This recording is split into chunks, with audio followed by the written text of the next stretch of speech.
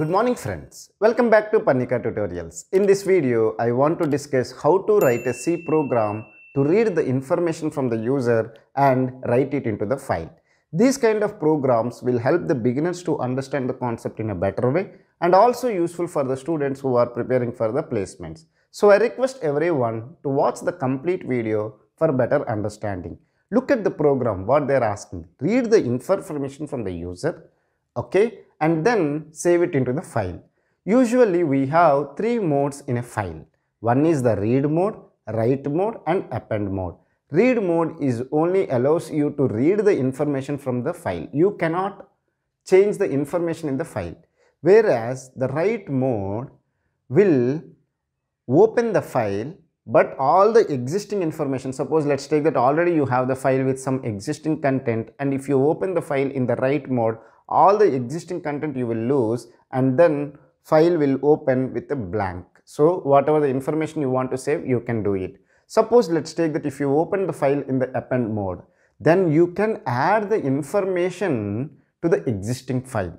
Is it clear? So now i want to write the information into the file. So I don't want to add, if you want to open, add the file, then you can open the file in the append mode. But I want to just save the information in the file. So I will open the file in the write mode. Is it clear or not? So what I will do in this program is that I will ask the user to enter the n number of students details like his their marks, their name and those information I want to save it into the file. Okay. So to do that one, I need to include two header files. One is the stdio.h and another one is the stdlib.h.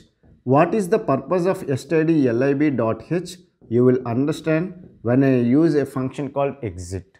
Okay. Then what I need to do is that I need to open the function called main with the return type as void. So this function does not return any value.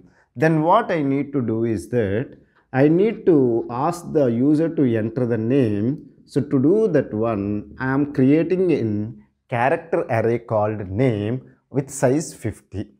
Then I need to ask the user to enter his marks. So I am declaring a variable called marks and data type is int. Then I need to ask the user to enter the n number of students details and i so these two variables i will use it later okay so this is the declaration part now what i need to do? I need to declare a file pointer. So i am using file and the file pointer is p. So this pointer p can have the address of the particular file. So what i will do is that first i will ask the user to open a file okay? So the function i will use it fopen now this function will have two arguments or two parameters. One is the name of the file with an extension and the mode. So here i want to open a file called student.txt so i am opening a file called student with format is text okay? And here i am specifying the mode of the file as write. Now look at the mode which is write. Now if the file is not there then the new file will be created. If the file is already existing with some information all the information you will lose and the file will be open. So now if the file is there then it will give the base address of the file. If the file is not there it will create a new file called student.txt and the base address will be given to the pointer called p.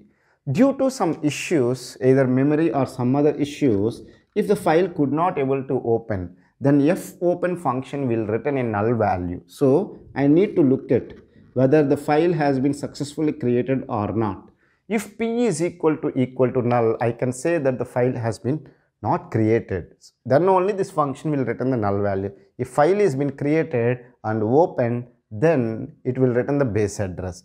If the file could not able to open, if the file itself is not open, what I can do on the file? I have to exit this program. So I will print a statement is file is not opened or not created or whatever the error I want to write, I can write and I can exit from the program. So I will use a function called exit and I will give some integer value. So I can exit from the program by displaying the error called file is not open. Suppose if the file has been now is been open, then it will have the base address of the file. So what I need to do? I need to ask the user to number of students, how many students details you want to enter. So I will display a statement called enter the number of students. So I'm using a function called printf enter the number of students and I will use an escape character which is backslash n. After printing the statement it will go to the new line.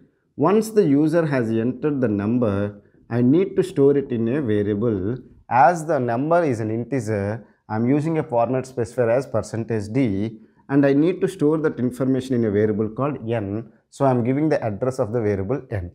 Once the user has entered the number of students, I need to ask the user to enter the name and marks of each student. So I will use a loop starting from 0 to n i plus plus okay or you can start the loop from i is equal to 1 and you can go up to i less than or equal to n. Now I will ask the user to enter the name and marks of a student. Enter the name and marks of a student. Okay. Then once the user has entered the name and marks, I need to store that information in a particular variable. So I'm using the function called scanf. Now the name, so I need to use the format specifier percentage s and marks is an integer so percentage d and I need to store it in the variable so I will write name and then ampersand marks. Is it clear? I hope you have understood. Once the user has entered the name and marks of a particular student, I want to store that information into the file called student.txt. Now we can use a function called fprintf. Till now you would have seen the function called printf. But now I am discussing or introducing a function called fprintf. Now let me discuss what is the difference between these two. Now printf will print something on a console. Suppose if I have written the statement called printf, enter the name and marks. So this statement will be displayed on the console. But the same information I want to save it into a file then I can use a function called fprintf. Now, whenever we say a function, how many parameters or arguments it will take as an input.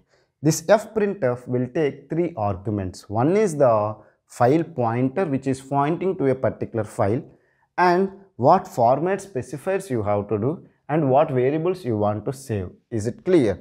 So, let me discuss for you. So, we have a function called fprintf its purpose is to save the information onto a file okay and it will have three parameters one is the file pointer the meaning is that in which file you want to save the information I want to save this information in the file called student.txt usually we will never mention the name of the file we will mention the file pointer which is pointing to this file if you look at the file pointer which is pointing is p so I am specifying the variable here as p and I need to specify the format specifiers. One is that I am storing the name and marks. So I have to write percentage s, percentage d and then I have to give the backslash n. What is the purpose of that one I will discuss for you. Now I need to save the name and marks. So I am writing the name of the variables here. Is it clear? I hope you have understood. One is the file pointer, format specifiers and the variables. So here why I am writing backslash n is that once you saved the one student details, I want to go to the new line and save the second student details. So that's why I have given the escape sequence which is backslash n. Then once it is done for one student and I need to repeat the statement for n students. So that's why I have written the loop. Okay. So now once it is done, it's my duty to close the file. So I will use the function called fclose and I will specify the file pointer which is pointing to the particular file. So then it will close the file called student.txt. Then I will write a statement called getch and I will close the main function. So this is a program to read the information from the user and save that information into the file. Okay, so I hope you have understood this program. If you have any doubts related to this program, feel free to ask me in the comment section. I will try to clear your doubts as early as possible. Thank you for watching the complete video. Have a nice day.